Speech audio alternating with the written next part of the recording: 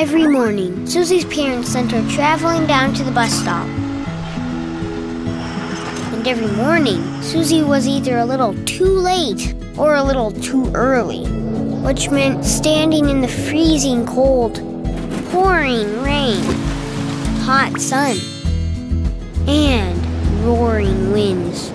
Luckily, Susie's parents started using Here Comes the Bus, a new app that lets them see the exact location of Susie's school bus. Now Susie arrives at the bus stop at just the right time, every time. Here comes the bus from Synovia Solutions. Don't ask, no.